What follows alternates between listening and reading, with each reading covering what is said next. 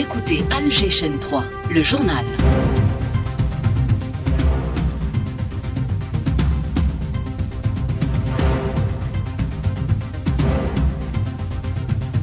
Ottawa et Alger œuvrent à renforcer les relations bilatérales. Déclaration du président de la Chambre des communes. Greg Fergus a été reçu hier par le président de la République. La première réunion consultative entre l'Algérie, la Tunisie et la Libye n'est motivée par aucune conjoncture particulière, n'est dirigée contre aucune partie et n'est pas une alternative à l'union du Maghreb, euh, du Maghreb arabe. Les affirmations du chef de la diplomatie lors d'une rencontre avec les représentants de la presse nationale. Le général d'armée, chef d'état-major de l'ANP, met en avant la contribution diplomatique de l'Algérie dans la résolution pacifique des conflits et son rôle dans la défense du droit des peuples colonisés à disposer d'eux-mêmes. Nous l'écouterons dans le journal. Plusieurs secteurs de la bande de Raza, notamment à Rafah, ciblés par l'aviation sioniste. Une délégation égyptienne est attendue en Israël pour faire avancer les discussions sur une trêve. Le mouvement de protestation contre l'agression sioniste se généralise à travers le monde. Culture, 70 œuvres cinématographiques programmées au Festival du film méditerranéen qui se poursuit à Annaba. Retour euh, à la fin du journal sur la soirée d'hier qui a vu la projection du long métrage dédié au Shahid El Harbi Ben. Et puis sport football, 24e journée de Ligue 1, trois matchs au programme cet après-midi. Et en championnat d'Afrique de judo au Caire, trois médailles pour l'Algérie, dont une en or à l'issue de la première journée. Cinq judokas algériens en lice ce vendredi. Madame, Monsieur, bonjour et bienvenue dans cette édition. On commence avec le 60e anniversaire de l'établissement des relations diplomatiques algéro-canadiennes, des relations évoquées lors de l'audience accordée par le chef de l'État au président de la Chambre des communes du Canada. Ce dernier a mis en avant l'importance de renforcer les relations bilatérales et le rôle de notre diaspora en ce sens. Je vous propose d'écouter Greg Fergus. J'ai été accueilli très chaleureusement par le président de l'Algérie.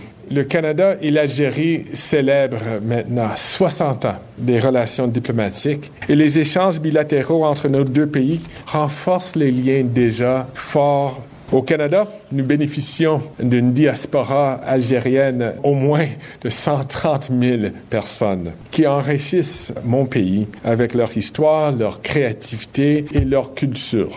Et notre délégation a eu la chance de rencontrer les gens d'affaires, les leaders du milieu académique, de la société civile. Notre délégation a posé un gerbe au monument des martyrs. Et c'était vraiment très touchant pour rendre hommage et pour honorer ceux et celles qui ont sacrifié leur vie pour l'indépendance de ce grand pays. Le président de la Chambre des communes au Canada a également été reçu par le président du Conseil de la Nation, Salah Goudjil, et le président de l'APN, Brahim Bourali. Les efforts diplomatiques de l'Algérie dans plusieurs dossiers et questions d'actualité passés en revue par le chef de la diplomatie algérienne qui a rencontré hier les représentants de la presse nationale. Ahmed Attaf est notamment revenu sur la première réunion consultative entre l'Algérie, la Tunisie et la Libye tenue lundi dernier à Tunis. Karim.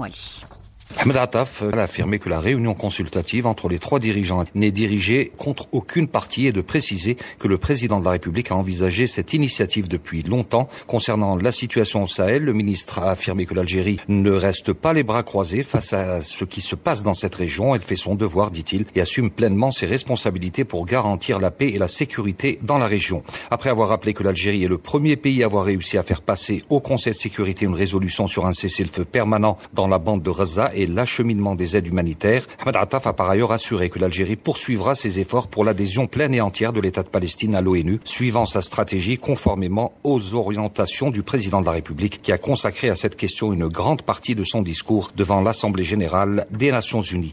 Le ministre des Affaires étrangères a également affirmé qu'il n'y a aucun problème dans les relations algéro-françaises. Il a rappelé dans la foulée qu'une rencontre est prévue bientôt avec son homologue français en prévision des prochaines échéances bilatérales. Le général d'armée, chef d'état-major de l'ANP, préside la 17e session du Conseil d'orientation de l'École supérieure de guerre. Dans une allocution prononcée à l'occasion, Saïd Chingriha a souligné que les rapports de force et d'intérêt ont pris le pas sur la paix mondiale et la coexistence pacifique entre les nations, ce qui a mené à l'échec des instances onusiennes et internationales à mener à bien leur mission. On l'écoute.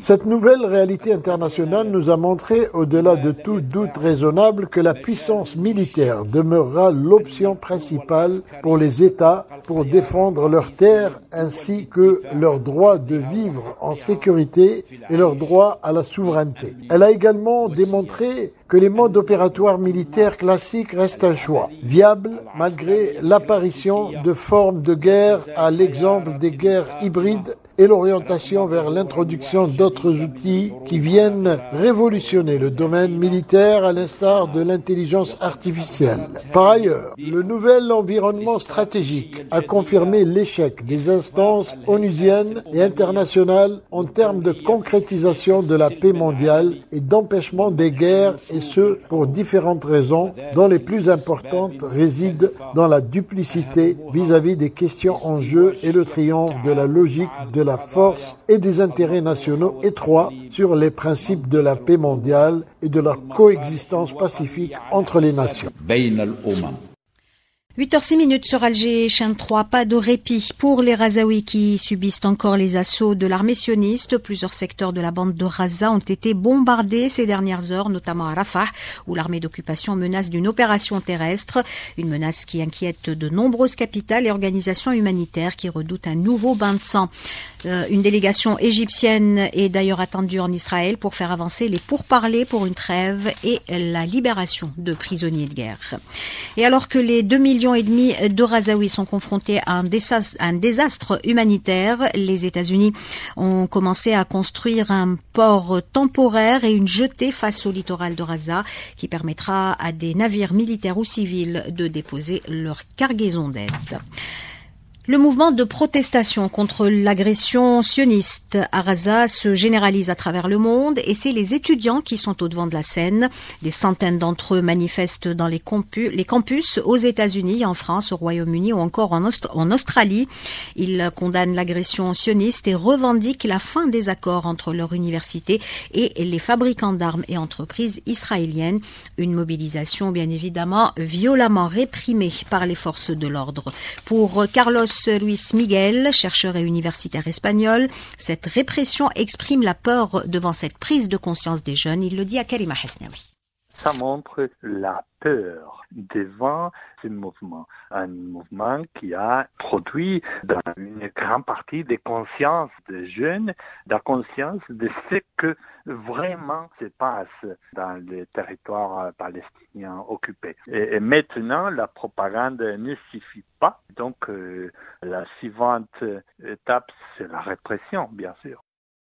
Le Maroc, à nouveau épinglé pour non-respect des droits humains, dans son dernier rapport Amnesty International a recensé au cours de l'année 2023 de nombreuses violations par le Marzen des droits de l'homme, notamment des atteintes aux droits de la liberté, d'expression, de réunion et d'association. Le militant et activiste marocain Youssef El Hirsch en a fait les frais. Il a été arrêté en mars dernier pour atteinte à un fonctionnaire public et diffusion de fausses informations à Hajar ces accusations sont basées uniquement sur ses écrits sur le compte Facebook de Youssef El-Hiresh, souligne son comité de soutien qui considère ces accusations comme une atteinte à sa liberté d'expression et d'opinion. Une manière de réprimer son travail d'investigation mené autour d'activités économiques de personnes hautement placées au sein de sphères politiques et économiques marocaines. En effet, El-Hiresh est connu pour ses publications critiques envers les autorités marocaines, notamment sur la corruption et les violations des droits humains. Son arrestation s'inscrit dans un contexte de répression accrue contre les voix dissidentes au Maroc et soulève beaucoup de questions sur la liberté d'expression et le respect des droits humains au Maroc.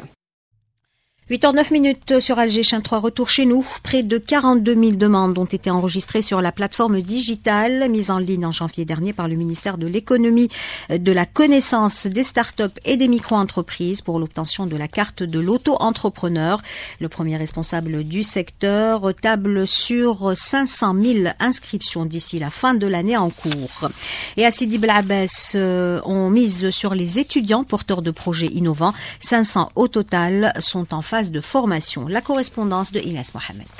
L'incubateur de Sidi Blabès a fait un grand pas en avant en soutenant les étudiants porteurs de projets issus de neuf facultés de l'université de Gilali dont une trentaine sont retenus et sont actuellement en phase de formation. L'étape suivante consiste à financer ces projets innovants, détaille le responsable de l'incubateur, Dr Alami Ahmed. Cette année, on a plus de 500 projets dans la faculté des sciences exactes, faculté de technologie, de génie électrique, de sciences humaines. On est dans la phase des formations. Par exemple, euh, formation de BMC, Business Model Canva, le Design Thinking, prototypage, comment rédiger un brevet, comment rédiger un label. Et travaille aussi sur 30 euh, projets de l'année passée incubés dans le domaine euh, hydraulique, domaine agricole, domaine de tout ce qui y a intelligence artificielle. C'est des projets réalisés, prototype euh, opérationnel à 100%. Maintenant, on joue le rôle de faire des formations dans l'ACF. L'ACF, c'est un bureau de financement des startups. L'université Djidali Liebes figure parmi les trois premières universités à l'échelle nationale par rapport au nombre de projets innovants proposés, notamment dans le domaine de la médecine, la technologie, l'électronique, l'agriculture et la biologie. De Sidi Inès Mohamed pour Algéchien 3. Dans le cadre du mois du patrimoine, on vous propose ce vendredi une petite virée du côté de Gigel, une ville qui a vu défiler de nombreuses civilisations. Abdelhamid Zoued. Chez les Phéniciens, son nom était Igil ce qui donnera par la suite Igil puis Gigel et Gigeli. Certaines versions retiennent le nom originel de la ville qui vient du berbère Iril Iril, signifiant la colline de l'exil ou encore de colline en colline. Au Xe siècle avant l'ère chrétienne, les Phéniciens marins et marchands s'installèrent à Gigel pour y fonder des comptoirs de commerce. Au Ve siècle avant Jésus-Christ, les Romains occupent cette cité phénico-berbère élevé sous le règne de Octave en 33 au rang de colonia romana, administrée par un sénat à l'instar des villes romanes importantes. Les Vandales venus des pays germaniques en traversant l'Espagne ont défilé sur l'Afrique du Nord. Ils détruisent Igilgil en 429. Digel est promu au rang de commune en 1860. L'histoire retiendra la présence des frères Barberousse à Gigel en 1516 année pendant laquelle les trois marins parvinrent à libérer Gigel et Alger de la domination espagnole et prirent le contrôle des villes et régions environnantes. Gigel, Abdelhamid Zouad, Alger 3. Les amoureux du 7e art étaient nombreux hier à assister à la projection du long métrage dédié au shahid Larbi Ben Mehdi. C'était dans le cadre du festival du film méditerranéen qui se poursuit à Annaba. Selim Brahimi est notre envoyé spécial. Très attendu à Annaba, la projection du biopic Larbi Ben Mehdi a fait salle comble pour sa première projection publique où certains spectateurs ont dû s'asseoir sur le sol pour ne pas rater la projection. Tout au long de la projection, l'assistance était concentrée sur le film suivant l'évolution de Larbi Ben Mehdi, de son enfance passant par les différentes étapes de son engagement au sein du FLN et sa fin tragique. Des applaudissements ont ponctué certains passages du film. À la sortie de la projection, des spectateurs étaient unanimes. Le film les a marqués. Un très beau film, émouvant, très beau. Ce film-là était vraiment génial. C'était très bien. Euh, film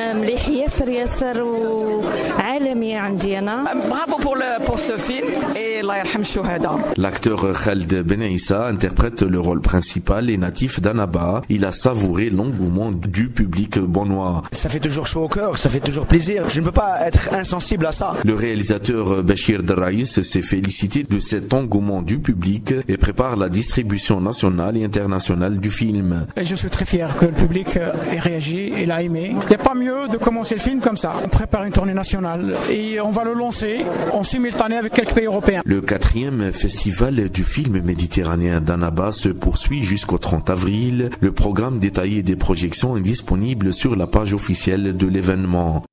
Et on termine avec le sport, le football et le début ce vendredi de la 24e journée de Ligue 1. Trois rencontres cet après-midi. MC El Bayad du SM Khanchla, JS Saoura, US Souf, US Biskra en tente de sétif. Coup d'envoi euh, des matchs 16h à suivre en direct sur nos ondes dans Sport sur la 3. Et puis, championnat d'Afrique de judo au Caire, deuxième journée euh, aujourd'hui avec l'entrée en liste de cinq judokas algériens. Ils tenteront de bonifier la moisson de l'Algérie après les trois médailles dont une honneur décrochée hier à l'issue de la première journée. 8h14 minutes sur Alger Chaîne 3. C'est la fin de ce journal réalisé par Sidali Djilali. Euh, Morad Benseman était à la console technique, Mouni au streaming vidéo. Tout de suite la météo avec Lilia Bachalet.